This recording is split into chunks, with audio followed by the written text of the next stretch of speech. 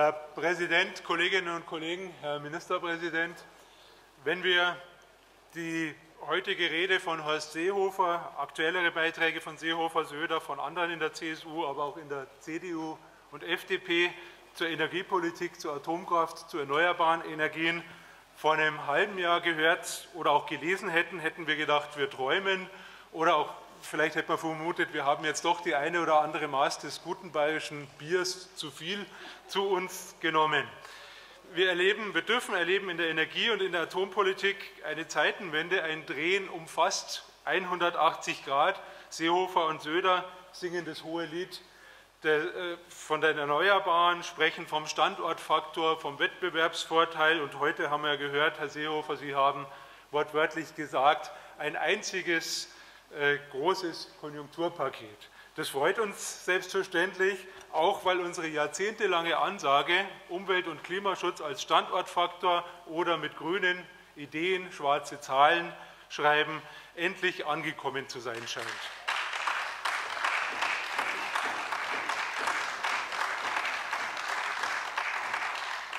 Schön war beispielsweise auch zu erleben oder erleben zu dürfen, wie in der Münchner Runde der Ministerpräsident Horst Seehofer dem doch etwas verdutzten VBW-Chef Rodenstock erklärt hat, dass und weshalb die Grünen schon immer recht gehabt haben. Also es war auch ein, wunderbares Erlebnis, Herr Ministerpräsident, für das wir uns ganz herzlich bedanken dürfen. Äh, war, eine sehr, sehr nette Runde, äh, wo, wobei Ihr heutiger Beitrag uns schon ein bisschen so vorgekommen ist, Sie predigen uns jetzt das, was wir Ihnen jahrelang gepredigt haben. Die Kollegin Bause hat vorhin zu mir gesagt, der Saulus wird zum Paulus und erklärt dann den anderen wiederum die Religion. Also das Bild trifft es, denke ich, doch ganz gut. Äh, auch spannend, die Südschiene, erst vor wenigen Wochen von Ihnen ja lautsprecherisch aufgedreht, in die Tonne getreten, aufgekündigt. Die wurde blitzschnell wiederbelebt. Ich darf zitieren aus Spiegel Online, Herr Ministerpräsident. Da heißt, von wegen Ende der Südschiene und so, Seite an Seite mit Horst Seehofer, den CSU-Kollegen aus München, macht der erste grüne Regierungschef der Republik mal eben einige zentrale Beschlüsse des schwarz-gelben Atomausstiegsplans rückgängig. Mit demselben Seehofer, der noch zu Wochenbeginn das in der Nacht zuvor vereinbarte Koalitionskonzept bis ins Detail gepriesen und verteidigt hatte. Das heißt, Herr Ministerpräsident, Sie haben hier auf den Herrn Kretschmann gehört, Sie sind ihm gefolgt, weil vorher haben Sie ja das Gegenteil verteidigt. Das ist, das ist anerkennenswert. Sie, Sie waren lernfähig und so sollten Sie es auch weiterhin sein. Es gab ja einige ganz, ganz maßgebliche Fehler in dem Konstrukt der Bundesregierung, vor allem das geplante blockweise Abschalten der noch am Netz verbliebenen neuen Reaktoren in den Jahren 2021 und 2022. Das ist geheilt worden mit einem Stufenplan, Abschalten nach einem klaren Fahrplan, was einfach auch gut ist für die Planungssicherheit, für die Investitionssicherheit bei den Erneuerbaren, bei den Gaskraftwerken und bei anderen. Also äh, herzlichen Dank auch für dieses Lernen. Wir hätten uns auch nicht, wir hätten uns auch nicht träumen lassen, dass es beispielsweise einen DEW-Wochenbericht gibt, wie den ganz aktuellen. Da heißt es in der Überschrift Chancen der Energiewende und die Überschriften der einzelnen Kapitel, die darf ich kurz zitieren. Erstens Atommoratorium, keine Stromausfälle zu befürchten. Zweitens, die Lichter gehen nicht aus. Drittens, ökonomische Chancen und Struktureffekte einer nachhaltigen Energieversorgung. Viertens Öffnung des Strommarktes für erneuerbare Energien. Das Netz muss besser genutzt werden. Und der letzte Beitrag heißt dann Atomausstieg. Deutschland kann ein Vorbild werden. Also das ist das, das, ist das was ich meinte mit, dem, mit der Zeitenwende, mit dem Umsteuern. Und da muss man eins ganz klar festhalten, Sie haben es ja vorhin selber angesprochen, Auslöser für das Umdenken und Umsteuern in den Teilen der Politik und in den Teilen der Gesellschaft, die vorher dazu nicht bereit waren, das waren sicherlich die tragischen Geschehnisse in Fukushima. Wir Grünen können uns allerdings auf die Fahne schreiben, dass wir das für den Umstieg notwendige Klima geschaffen haben. Und dies in jahrzehntelanger Kleinarbeit, Überzeugungsarbeit und Auseinandersetzung. Also das Klima, denke ich, das können wir uns schon zuschreiben, auf die Fahnen schreiben. Eine unserer Wurzeln und der tragenden Säulen war und ist bekanntlich der Kampf gegen die Atomenergie, wie sie von Leber, Schmidt, Strauß propagiert und befördert worden ist, sowie der Kampf für Energiesparen und für erneuerbare Energien. Atomenergie, Herr Ministerpräsident, und ich hoffe, auch da korrigieren Sie sich jetzt ziemlich schnell, weil Sie müssen ja auch gegenhalten gegen den gerade eben zitierten Sinn und andere dieses Schlages. Atomenergie ist eben nicht CO2-frei. Wir haben einen Ausstoß von ungefähr 30 bis 60 Gramm je Kilowattstunde. Das ist vergleichbar mit einem modernen Gasdampfkraftwerk. Hängt halt einfach daran, dass erstmal Uranerz abgebaut werden muss, aufgearbeitet werden muss. Es sind Transporte da, also von wegen CO2-frei. Atom ist auch alles andere als eine heimische Energiequelle. Wir haben uns hier hochgradig abhängig gemacht. Es ist alles andere als preiswert. Die Subventionierung ist schon angesprochen worden und die Kosten werden eben abgewälzt auf andere Zeiten, auch auf andere Menschen. Und vor allem gibt es weiterhin die ungelöste Entsorgungsfrage. Und der letzte Punkt, und das war ja für Sie der Auslöser, umzudenken, Stör- und Unfälle, wie sie eben nie auszuschließen sind, können katastrophalen Ausgang haben. Tschernobyl und Fukushima sollten hier endlich fanal genug sein. Sie haben es selber eindrucksvoll dargelegt auch in der schon eben genannten Fernsehsendung. Hunderttausende von Menschen haben endgültig ihre Heimat verloren. Äh, zigtausende von Menschen sind bedroht mit Gefahren für Leib und Leben. Jetzt darf ich Sie ansprechen, Herr Zeil. Vor diesem Hintergrund verbieten sich einfach solche Sätze, wie Sie die vor wenigen Wochen noch getan haben, nämlich dass Sie gesagt haben, Atomausstieg und Energiewende, die dürfen aber in keinem Fall auf Kosten der Lebensqualität gehen. Also vor dem Hintergrund dessen, was wir jetzt an Bildern auch erlebt haben und was die Menschen in Japan erleben mussten, ist ein solcher Satz schlicht und ergreifend zynisch.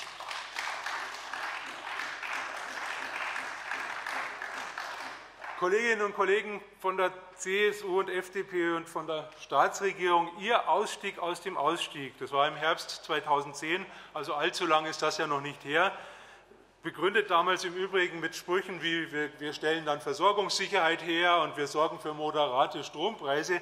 Dieser Ausstieg aus dem Ausstieg war ja eigentlich eine prima Sache für uns Grüne, weshalb wir haben massiv an Sympathie, an Anerkennung, an Anhängerschaft zugelegt.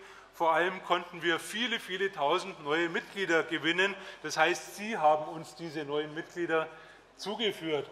Trotzdem Gewünscht hätten wir uns das nicht. Der Kollege Rindersbacher hat es schon angesprochen, weil Sie haben mit dem Ausstieg aus dem Ausstieg und der jetzigen Entwicklung dafür gesorgt, dass Milliarden an Kosten drohen, an Kosten für die Steuerzahlerinnen und Steuerzahler.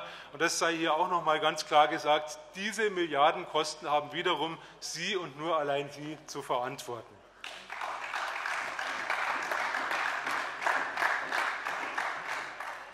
Grundsätzlich ist es ja so, und Herr Kollege Schmidt, da bin ich bei Ihnen dafür und dagegen und die Schublade. Äh, grundsätzlich hat sich die Union seit Jahren als Dagegenpartei profiliert. Gemeinsam mit der FDP war sie gegen das Erneuerbare Energiengesetz, hat auf Landesebene zum Beispiel den Ausbau von Windenergie systematisch behindert. CDU und CSU haben gegen den Emissionshandel gekämpft und sie haben immer verbindliche Energiesparziele abgelehnt. Und auch die Merkelsche Energiewende ist in Toto immer noch eine Mogelpackung. Sie ist zu wenig, sie ist zu langsam und sie ist vor allem von oben herab. Ein paar Belege. Einige wenige Belege, anstatt zielstrebig den vollständigen Umstieg auf erneuerbar erzeugten Strom anzugehen, strebt die Bundesregierung bis 2020 erstmal nur einen Ökostromanteil von 35 Prozent an. Dann will sie eine Kostengrenze für das Erneuerbare Energiegesetz und gleichzeitig die Industrie noch großzügiger von der Umlage befreien. Das heißt, das ist sozial ungerecht und auch schädlich wiederum für den Ausbau erneuerbarer Energien. Zentral statt dezentral ist weiterhin die schwarz-gelbe Devise. Nicht die dezentralen Erneuerbaren stehen ganz im Vordergrund, sondern erstmal sollen neue Kohlekraftwerke ans Netz und einen großen Anteil des wegfallenden Atomstroms ersetzen. Die Planung soll gestrafft werden, Bürgerbeteiligung soll eingeschränkt werden. Der Neubau der Klimakiller aus Kohle soll ausgerechnet finanziert werden aus Mitteln aus dem Klimaschutzfonds. Das ist alles andere als sinnvoll. Und von oben herab will die Bundesregierung das Land mit neuen Stromtrassen durchziehen. Zentralisierung der Planung beim Bund anstelle transparenter Verfahren und mehr Akzeptanz, auch mehr Akzeptanz durch Erdkabel beispielsweise. Schwarz-Gelb organisiert den Netzausbau und den Umstieg in Erneuerbare erstmal nicht mit den Bürgerinnen und Bürgern, sondern gegen sie. Da sind Sie herzlich aufgefordert, Herr Ministerpräsident, noch für die notwendigen Korrekturen zu sorgen. Der einstimmige Beschluss der einstimmige Beschluss der Ministerpräsidenten geht hier ja auch in die richtige Richtung. Beim Thema Energiesparen, ich hatte es schon angesprochen, äh, aber man muss es sich einfach noch mal vor Augen führen. Die EU wollte hier verbindliche Einsparziele. An wem ist es gescheitert? Wieder an der gelb-schwarzen Bundesregierung. Und wenn wir uns anschauen, erst kürzlich zusammengestrichen worden, das Gebäudesanierungsprogramm und wie zögerlich macht man jetzt Zusagen, hier wieder stärker ranzugehen, obwohl man doch weiß, welche segensreiche Wirkungen dieses Programm entfaltet hat. Jetzt aber ein klein wenig zum Lob. Also Herr Schmidt und Herr Seehofer, Sie haben ja auch unseren Parteitag angesprochen am Wochenende bzw. am Samstag in Berlin. Wir sagen ganz klar, mit der Rücknahme der Laufzeitverlängerung kehrt die Bundesregierung zum rot-grünen Atomgesetz von 2001 zurück. Und das ist gut so, das begrüßen wir. Und, und selbstverständlich anerkennen wir, dass mit den festen Ausstiegsdaten äh, das Ende der Atomkraft sogar noch besser abgesichert wird, also nicht mehr diese Geschichte mit der Übertragung der Reststrommengen, die ja für das eine oder andere Kraftwerk, ich, ich sage ja, das ist sogar noch besser, Herr Ministerpräsident. Das habe ich an dieser Stelle ganz dezidiert gesagt. Äh, also hier auch noch mal eine Verbesserung. Auch begrüßenswert, dass eben die, die sieben ältesten Atomkraftwerke und das Pannenkraftwerk Krümmel nicht mehr ans Netz gehen. Also alles Dinge, die uns freuen und wo wir sagen, das ist ein Schritt in die richtige Richtung und deswegen äh, begrüßen auch wir, wenn möglichst viele Fraktionen im Bundestag Tag der Atomrechtsnovelle zustimmen werden. Selbstverständlich, Kolleginnen und Kollegen, werden wir alle, das gilt für die SPD ganz genauso wie für uns, darauf drängen, dass diese Novelle auch rechtssicher begründet wird, weil da gibt es ja schon noch das eine oder andere Fragezeichen und dass sie auch in dem einen oder anderen Punkt noch spürbar verbessert wird. Wir sagen auch, dass der Abschaltplan der Bundesregierung bis 2022 eben nicht den schnellstmöglichen Atomausstieg bedeutet. Die Grünen haben es vorgerechnet, die Deutsche Umwelthilfe hat es vorgerechnet, das Umweltbundesamt hat es auch vorgerechnet, dass es wirtschaftlich und rechtssicher machbar wäre, beispielsweise bis 2017. Dafür, denke ich, sollten wir alle weiter kämpfen, uns weiter dafür einsetzen. Und selbstverständlich und selbstverständlich werden wir uns auch dafür einsetzen, dass die noch am Netz verbleibenden Atomkraftwerke konfrontiert werden mit höheren Sicherheitsanforderungen als bisher. Also der Paragraph 7d des Atomgesetzes, der die Sicherheitsstandards gesenkt hat, der muss schleunigst wieder gestrichen werden. Und Gleichzeitig gilt es auch, die mittlerweile ja seit zwei Jahren vorliegende Überarbeitung des kerntechnischen Regelwerkes endlich in Kraft zu setzen. Es gibt diesbezüglich eine Reihe weiterer Forderungen, die werden wir ja auch, denke ich, dann in den weiteren parlamentarischen Beratungen bemühen. Also der Strahlenschutz muss für das AKW-Personal deutlich verbessert werden. Und selbstverständlich muss endlich eine ergebnisoffene bundesweit vergleichende Suche nach dem bestmöglichen Standort für Endmüll, für Endlager umgesetzt werden. Herr Ministerpräsident, zu Bayern. Energiewende in und von Bayern aus, das ist ja das Thema, was uns vor allem bemühen sollte. Äh, da sieht eben doch nicht alles so rosig aus, wie, Sie es vorhin kundgetan haben. Es gibt ja alle zwei Jahre eine, eine wunderbare Vergleichsstudie, das Ranking im Auftrag des Bundesverbands Erneuerbarer Energien von großen Wirtschaftsforschungsinstituten gemacht. Und da heißt es für das Jahr 2010 im Bundesländervergleich liegt Bayern auf Platz 7. Es ist damit im Vergleich zu 2008 um vier Plätze zurückgefallen. im Bereich Bürgerengagement führt das Bundesland. Wir haben also ein ganz, ganz uneinheitliches Bild, beispielsweise Bayern ganz vorne bei der Nutzung von Solarstrom, von Solarwärme und Holzheizungen, aber es gibt in anderen Sektoren deutliche Schwächen. Äh, ganz hervorgehoben gibt auch so eine Auszeichnung, Leitstern 2010, das ist die Kategorie Bürgerengagement. Da wird aber wirklich nur zusammengefasst, was ist dem Einsatz der Bürgerinnen und Bürger zu verdanken. Also wie hoch ist der Anteil der Bürgerinnen und Bürger, die besonders umweltfreundlichen Strom beziehen oder wie viele der bayerischen Bürgerinnen und Bürger tun sich Photovoltaikanlagen aufs Dach oder nutzen die Solarthermie. Da ist Bayern vorne, aber jetzt bringen wir mal die Kategorien, wo Bayern hinten liegt. Und das haben Sie vorhin an einigen Baustellen falsch dargestellt, definitiv falsch dargestellt, Herr Ministerpräsident. Also ich zitiere, im Bundesländervergleich liegt Bayern in folgenden Punkten hinten. Unzureichende Fördermaßnahmen. Ungeachtet der politischen Zielsetzungen und Programmen schneidet Bayern bei konkreten Fördermaßnahmen relativ schlecht ab. So bei Informationsangeboten Platz 13, also 13 von 16 ist nicht toll, bei Förderprogrammen Rang 14 und beim Hemmnisabbau ebenfalls Rang 14. Schlusslicht Windenergie, dass die Potenziale kaum ausgenutzt werden, ist auch eine bekannte und erkannte Sache. Äh, brauche ich also nicht weiter darauf einsteigen. Wasserkraft und Wärme stagnieren. In diesen Bereichen ist Bayern nicht weiter vorangekommen in den letzten Jahren. Und dann eine zurückhaltende Industrie- und Technologiepolitik. Hier liegt Bayern im Bundesländervergleich zurück. Bei den Forschungsausgaben für erneuerbare Energien bezogen auf das Bruttoinlandsprodukt da, fallen die Zahlen für Bayern sehr gering aus. Bayern liegt hier auf dem vorletzten Platz. Auch bei den Studiengängen und Stellenanzeigen gehört Bayern zu den Schlusslichtern, jeweils Platz 14. Und auch bei den Unternehmen aus, aus dem Bereich der erneuerbaren Energien nur Mittelfeld. Das heißt, das, was Sie vorhin unter Verweis auch auf den Kollegen Heubisch gesagt haben, beispielsweise war nicht zutreffend, Herr Ministerpräsident. Das heißt wiederum, hier gibt es großen Nachholbedarf. Das Fazit der Forscher vom DIW vom, und einem anderen Verband, bestehende Hemmnisse müssen dringend abgebaut werden. Auch bei Förderprogrammen und Informationsangeboten könnte sich das Land besser profilieren. Daneben sollen die industrie- und technologiepolitischen Anstrengungen wesentlich verstärkt werden. Hierzu zählt beispielsweise verstärktes Engagement bei der Förderung von Forschung und Bildung im Bereich erneuerbarer Energien. Also doch ganz anders, als Sie sich schulterklopfenderweise immer wieder zuschreiben. Ganz, ganz große Defizite. Und Kolleginnen und Kollegen von der CSU und neuerdings eben auch von der FDP, obwohl Sie sich jetzt nicht angesprochen fühlen müssen, wenn Sie früher unseren Anträgen und Gesetzentwürfen und zahllosen anderen Initiativen gefolgt wären, dann stände Bayern wesentlich besser da. Herr Ministerpräsident,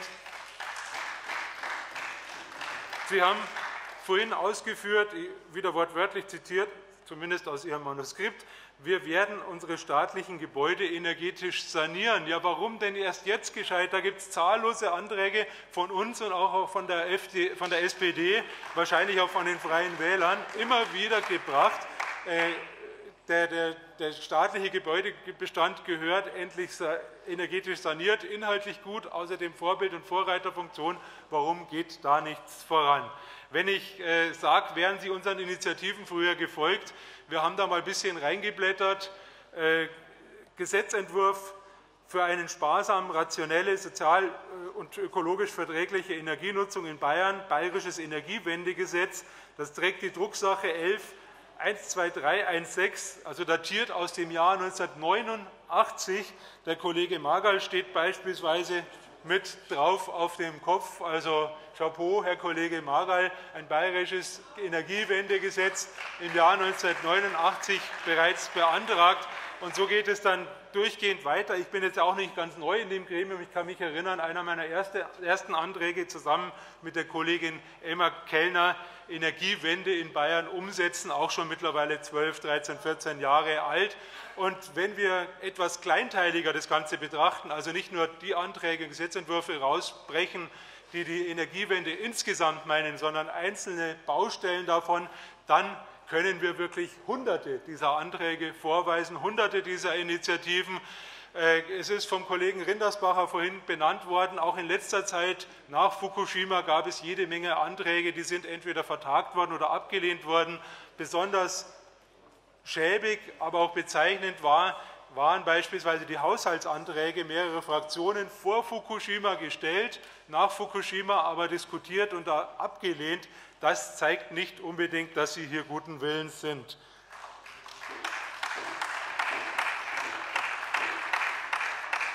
Und Herr Ministerpräsident, äh, wir, wir befassen uns ja gerne mit dem, was von Ihnen an Verlautbarungen kommt. Also Herr Kollege Schmidt, wir haben das Programm der Regierung sehr genau studiert, mehrfach durchgearbeitet, energieinnovativ vor drei oder dreieinhalb Wochen, wo es, wo es rausgekommen war. Äh, wir haben es ja auch schon andiskutiert, also das ist das Konkreteste und Fassbarste, was es letztlich gibt. Und mit dem sollten wir uns auseinandersetzen, weil die heutige Rede, das war viel Pathos, das waren sehr viele Allgemeinplätze, aber Herr Ministerpräsident, sehen Sie es uns nach, doch sehr, sehr wenig Konkretes gewesen. Also äh, an diesem Konzept der Staatsregierung äh, muss man doch einiges kritisieren, zum Beispiel Mängel bei den Instrumentarien und Maßnahmen. Die, die Zielformulierungen sind über weite Strecken gut und sinnvoll, aber es fehlt meistens an konkreten Instrumenten und Maßnahmen. Wenn welche genannt werden, dann sind es alles Förderinstrumente, ordnungsrechtlich völlige Fehlanzeige. Da muss unseres Erachtens doch das eine oder andere getan werden. Bei der Windenergie sagen wir, da wäre noch viel, viel mehr drin. Äh, es ist zwar erfreulich, dass Sie hier Ihre Blockadepolitik aufgeben wollen, aber die Ziele sind viel zu wenig ehrgeizig. Bei der Biomasse kommt beispielsweise die Kraft-Wärme-Kopplung viel zu kurz und auch die ökologische Ausrichtung kommt viel zu kurz. Bei erneuerbaren Energien im Gebäudebestand ist eben nichts geplant an rechtlichen Festlegungen, wie sie notwendig wären. Beim Erdgas war damals, und das ist jetzt immerhin schon eine Verbesserung in Ihrer heutigen Rede gewesen, da war, der, war vom geplanten Ausbau von Großkraftwerken äh, mit einer Leistung von ungefähr Gigawatt die Rede gewesen.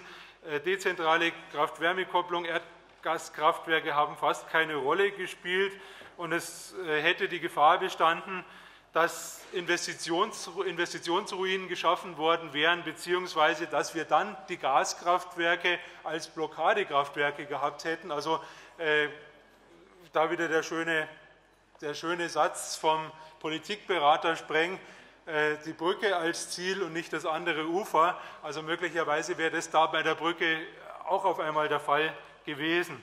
Beim Verkehr da hat es an allen gefehlt, außer an ein paar ganz vagen Absichtserklärungen. Und was unser ganz entscheidender Kritikpunkt war, Herr Schmidt und Herr Seehofer, und das bitten wir Sie schleunigst zu korrigieren, jetzt wirklich abzuarbeiten. Es gab überhaupt keine, in diesem Regierungsprogramm überhaupt keine Zeitperspektive. Es gibt zwar dieses Schlusskapitel, das heißt, was wir bis wann erreichen können, aber diese Überschrift, hinter der versteckt sich überhaupt nichts, außer dass, dass, es dann heißt, in zehn Jahren können wir das alles insgesamt erreichen. Das ist viel zu wenig. Wir brauchen konkrete Schritte, konkrete Maßnahmen in einem konkreten Zeitkorsett präsentiert. Also wie, wie das vorhin vorgetragene Ranking ja belegt hat, gibt es in Bayern großen Handlungsbedarf. Bayern hat sich viel zu lange ausgeruht auf dem hohen Anteil an Kernkraft und gleichzeitig einem hohen Anteil an abgeschriebener Wasserkraft. Deswegen ist bei den anderen Erneuerbaren viel zu wenig vorangegangen und ist auch viel zu wenig vorangegangen beim Energiesparen und bei der effizienten Energienutzung. Ganz wesentlich ist es, Sie haben es selber gesagt, die vorhandene Energie effizienter zu nutzen, als dies bisher geschieht. Im Kraftwerksbereich brauchen wir dringend höhere Wirkungsgrade und auf der Verbrauchsseite müssen Stromschleudern durch effiziente Geräte ersetzt werden. Wir brauchen intelligente Netze, wir brauchen intelligentes Messen, äh, auch um die Stromproduktion und die Stromnachfrage schlichterdings besser steuern zu können. Und ganz generell, Herr Ministerpräsident, wir haben ja gelesen und lesen müssen, lesen dürfen, dass Bayern bei der Informationspolitik ganz hinten ist.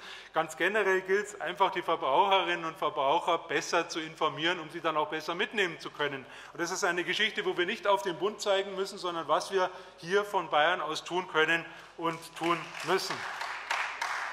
Wir setzen uns weiterhin ein dass es zügig passiert, ein Programm zur Umrüstung von Nachtspeicherheizungen, äh, Förderung von Kraft-Wärme-Anlagen, vor allem Mini-Blockheizkraftwerken, äh, von Nah- und Fernwärmenetzen, Effizienzprogramme zum Austausch von Heizungspumpen, Haushaltsgeräten, Elektromotoren, Unterstützung beim Ausbau von Smart Grids, also intelligente Netze und auch Smart Metering und den flächendeckenden Ausbau von Energieagenturen.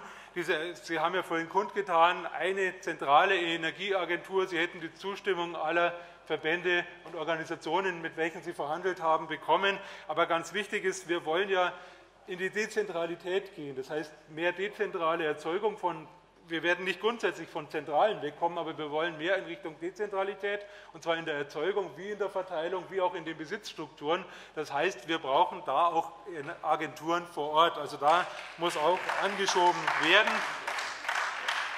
Was die erneuerbaren Energien anbelangt, also wir sind immer noch über dem Bundesdurchschnitt, aber nur mehr auf Platz 7 und immer noch über dem Bundesdurchschnitt, vor allem dank der Wasserkraft, die ja hier einen sehr hohen Anteil hat. Aber auch da muss endlich was passieren. Das heißt, Kehrtwende bei der Nutzung der Windenergie. Äh, Landesentwicklungsprogramm ist angesprochen worden, die Regionalpläne sind angesprochen worden. Sonstige bürokratische Hemmnisse müssen beseitigt werden. Wir brauchen unbedingt den Ausbau und die Ökologisierung der Biomassenutzung. Das heißt, Vorrang der Nutzung in, auch wieder in der Kraft-Wärme-Kopplung, das heißt Vorrang der Reststoffeverwertung, Gülle, Landschaftspflegematerial, ökologisch verträgliche Nutzung nachwachsender Rohstoffe, also Stichworte Fruchtfolge und anderes. Wir brauchen eine Koordination endlich der Geothermienutzung, äh, was den Umbau des Stromnetzes und der Stromspeicherung anbelangt. Da wünschen wir uns schon die Erarbeitung eines bayerischen Netzausbauplanes unter Mitwirkung der Netzbetreiber, der Energieversorger, der Umweltverbände, dann äh, die Ermittlung eines bayerischen Bedarfsplanes zur Stromspeicherung, auch wieder unter Mitwirkung der Verbände und Organisationen, mit denen Sie ja schon kurze, aber immerhin Gespräche geführt haben. Wir bestehen auch weiterhin auf der Erstellung eines äh, Katasters für Pumpspeicherkraftwerke, weil wir die Leute einfach überzeugen müssen, weil wir die Leute überzeugen müssen, warum gerade an diesem Standort, warum ist es gerade der Standort, der am besten geeignet ist. Wir setzen uns ein für runde Tische in den betroffenen Regionen als Begleitung der bisher laufenden Planungs- und Genehmigungsverfahren.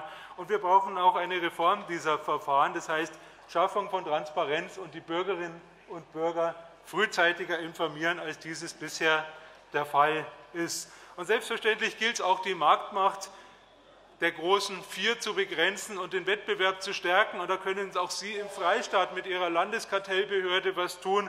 Sie können auch Hilfestellung geben für neue Investoren und Energieanbieter und Sie können regionale, kommunale Stadt- und Gemeindewerke fördern. Also es gibt hier in Bayern ein großes Betätigungsfeld.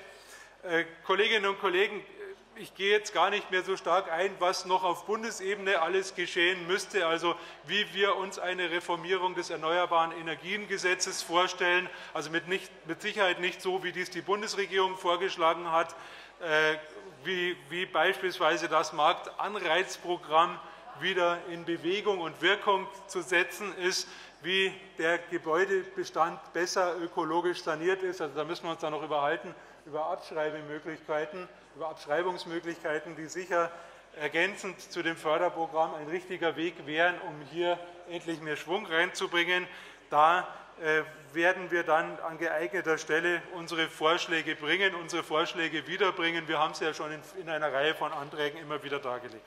Kolleginnen und Kollegen der CSU, der FDP, äh, Herr Ministerpräsident und andere Mitglieder der Staatsregierung, wir sind ja gerne bereit, hier mitzuarbeiten, also gerne bereit zur Zusammenarbeit, äh, auch den von Ihnen ja geforderten großen gesellschaftlichen Konsens mitzutragen. Aber das ist keine einseitige Geschichte. Das heißt, da ist auch Ihr Mitwirken gefordert. Und da wären etwas leisere Töne, etwas mehr Bescheidenheit auf Ihrer Seite, Herr Seehofer und Herr Zeil, durchaus angesagt, würden Ihnen durchaus gut anstehen. Der öffentlich, Herr Ministerpräsident, der öffentlich ausgetragene Streit in der Staatsregierung, vor allem auch um die Zuständigkeiten, der war kein Ausweis hoher Regierungskunst und er war der Sache auch nicht dienlich. er hat massiv, er hat massiv geschadet. Ich bringe Ihnen ein Beispiel. Die Kollegin Christel Kamm hat gemeinsam mit dem Kollegen Ludwig Hartmann Anfang April eine Anfrage gestellt zum Thema Windenergie. Anfang April. Nach einem Monat kam das uns allen bekannte Schreiben aus dem Ministerium, aus dem Umweltministerium, ja, wir müssen noch recherchieren, es dauert noch, wir bitten um Verlängerung der Bearbeitungsfrist. Einen Monat später ein ähnlich lautendes Schreiben, wir sind immer noch nicht durch, wir müssen noch recherchieren, wir bitten, noch, wir bitten weiterhin um Verlängerung der Beantwortungsfrist. Und dann, weitere zweieinhalb Wochen später, kam ein Schreiben, ich habe es hier, äh, in dem heißt dann, das Umweltministerium steht, stellt fest, wir sind gar nicht zuständig, zuständig ist das Wirtschaftsministerium. Also, äh, Herr Minister Seehofer, das belegt ganz ein, Herr Ministerpräsident, das belegt ganz eindeutig, Ihre Regierung ist zurzeit nicht handlungsfähig. Hier sind Sie gefordert. Hier, hier also ich, ich wir, wir, geben Ihnen, wir geben Ihnen gerne die Schreiben aus den einzelnen Häusern, die, die tatsächlich belegen, wie dieser Kompetenzwirrwarr und dieser Kompetenzstreit in der Sache schadet, nämlich dafür sorgt, dass wir hier alle gemeinsam in der Sache nicht weiterkommen. Und jetzt bin ich weiterhin bei Ihnen, Herr Minister Zeil. Der andere ist ja nicht da, der Markus Söder. Äh, wenn Sie hier tönen, wenn Sie, der lässt wieder Briefe schreiben, dass er, dass er jetzt doch nicht zuständig ist. Ja. Wenn Sie hier tönen, Herr Minister Zeil, äh, Sie wären die wahren Helden der Energiewende. Rot-Grün hätte zwar den Ausstieg beschlossen, sich aber nicht um den Umstieg gekümmert.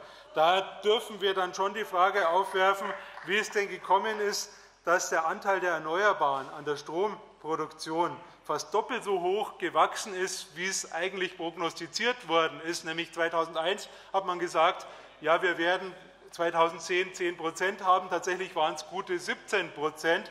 Und das waren, das waren fast doppelt so viel wie prognostiziert. Und Herr Minister Zeil, das war dreimal so viel, wie Ihre Leute zuvor geunkt hatten. Also es ist nicht vom Himmel gekommen. Das ist zu verdanken den durch Rot-Grün geänderten Rahmenbedingungen.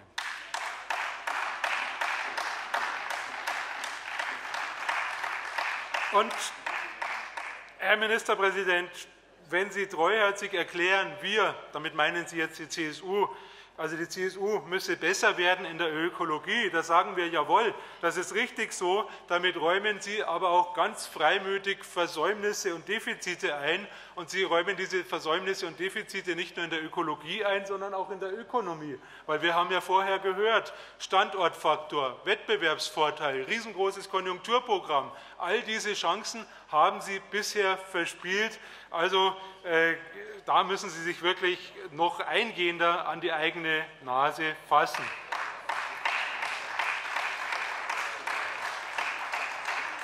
wir durften, ja, wir durften ja auch lesen und hören die Ankündigung, beispielsweise war es der schon genannte Gesundheitsminister Söder, der gesagt hat, über die Energiewende wird es uns jetzt gelingen, die Ökonomie mit der Ökologie zu versöhnen. Da müssen wir sagen, da reicht die Energiewende bei Weitem nicht. Da gäbe es zahllose andere Felder, wo die Versöhnung der Ökonomie mit der Ökologie angesagt wäre, angesagt ist. Äh, ich greife jetzt mal den Bereich Verkehr raus, weil da müssen wir ja auch gemeinsam alle vorankommen, um beispielsweise den CO2-Ausstoß, den Gas, auch wenn es Gasdampfkraftwerke sein werden, den Gaskraftwerke zusätzlich schaffen, zu kompensieren, wenn wir sagen, die Klimaschutzziele bleiben erhalten. Das heißt, äh, da muss gearbeitet werden. Stichwort beispielsweise dritte Start- und Landebahn, Stichwort Flughafen München II, Stichwort Donauausbau oder auch Stichwort der Ausbau der A94 durchs Isental. Da müssen auch wir, da müssen auch wir anerkennen, dass es rechtlich gelaufen ist, gar keine Frage. Ja, Herr Huber, jetzt, sprechen wir wieder zur Wirtschaft, zur Wirtschaftspolitik. Vielleicht schreiben Sie sich das mal hinter die Ohren, was Sie da bisher angerichtet haben. Also, äh, wenn die A94 im Herbst bis Paarstetten fertiggestellt ist, verbleiben 33 Kilometer bis zum Abschluss nach Heldenstein. Ja? Und wenn wir in dem Bautempo weiterbauen, wie bisher gebaut worden ist, dann würde das eine weitere Bauzeit von 16,5 Jahren bedeuten, wobei das optimistisch ist, weil wir wissen, an, wo es an anderer Stelle fehlt und wo es an anderer Stelle klemmt. Und man muss eins ganz klar sagen, äh, die Trasse Dorfen, das ist also die Isental oder am Isental vorbeiführende Autobahn, ich sage ja am Isental vorbeiführende Autobahn, diese Trasse Dorfen, die wäre für den Verkehr aus Mühldorf äh, und dem Chemiedreieck oder dahin auch erst dann nutzbar, wenn sie wirklich in Heldenstein wieder auf die B12 bzw. auf 94 führt. Das ist im Plan, wir finden Sie auch so formuliert im Planfeststellungsbeschluss. Ja? Wenn Sie dagegen äh, teilabschnittsweise die B12 ausbauen, dann kann jeder einzelne Teilabschnitt genutzt werden.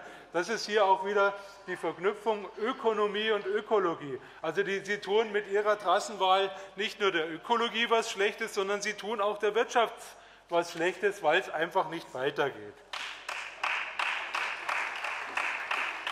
Es gibt da, Herr Huber, wenn ich Sie, Herr Huber, wenn ich Sie da schon sehe, es gibt da ja ein, es gibt da ja ein anderes Beispiel, die Bahnstrecke München-Mühldorf-Freilassing. Also auch da wäre mehr Dampf überaus wünschenswert. Kolleginnen und Kollegen, äh, zu den äh, nochmal der, der großbeschworene Konsens. Also äh, zu dem von, auch von Ihnen, Herr Ministerpräsident, öffentlichkeitsheischend groß eingeforderten gesellschaftlichen und politischen Konsens. Ihre Dialogbereitschaft erschöpft sich unserer Wahrnehmung nach bisher in Ankündigungen. Die Kollegin Margarete Bause und ich und auch die äh, Kollegin Theresa Schopper waren mit dabei. Wir haben Ihnen ja am 2.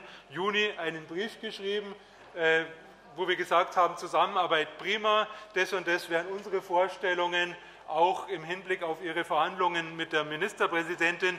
Leider wartet dieser Brief immer noch auf Antwort. Also da verstehen wir unter Dialog und Dialogbereitschaft doch, doch, Sie sind nicht. Ah, das, äh, wenn, wenn, Sie uns das schriftlich geben würden, aber wir finden es im, im Protokoll, ist denn dann nur der Herr Söder zuständig oder Herr Zeil für die, für die Beantwortung dieses Briefes? Also, wir, also Adressat, Adressat waren Sie selber und höchstpersönlich. Also erwarten wir auch von Ihnen eine freundliche Antwort. Sie können auch ja dann auch schreiben, ja, in der, in der Runde der Ministerpräsidenten habe ich Ihre Anregungen selbstverständlich aufgegriffen, assistiert nochmal vom Kollegen Kretschmann und wir haben uns auch in vielen Punkten durchgesetzt. Aber wie gesagt, Dialog sieht doch etwas anders aus, wobei, Herr Ministerpräsident, wir, wir kennen ja auch Ihr Naturell, Ihre Rauflust, Ihr pfleglicher Umgang mit dem Koalitionspartner. Äh, Herr Zeil, ich vermute, dass Sie unter Ihrem schönen blauen Sakko und unter dem Hemd sehr viele blaue Flecken tragen. Äh, also der pflegliche Umgang mit dem Koalitionspartner, der deutet uns an, was wir oder wie wir ihre Schalmeientöne einordnen können und einordnen dürfen. Allerdings, Herr Ministerpräsident, die Frage, ob Sie jetzt den Konsens, die Zusammenarbeit wirklich wollen oder aber nicht, die muss uns jetzt gar nicht ganz so sehr kümmern, weil Fakt ist, dass die Energiewende vorangebracht werden muss, gelebt werden muss. Das ist im Interesse des Landes und seiner Bürgerinnen und Bürger und das ist jetzt auch im Interesse ihrer Glaubwürdigkeit. Also da kommen Sie nicht mehr dran vorbei. Sie haben vorhin ja ausgeführt, Bayern steht in den Startlöchern. Da dürfen wir Sie schon fragen, wie lange wollen Sie denn noch stehen bleiben in diesen Startlöchern? Weil und, und, und wie lange lassen Sie das auch zu durch Eifersüchteleien und Kompetenz hin und her werfen und hin, und her gezerre? Aber seien Sie versichert, wir werden hier nicht müde, entsprechend anzuschieben, weil wir der Meinung sind, es muss was vorangehen. Herzlichen Dank.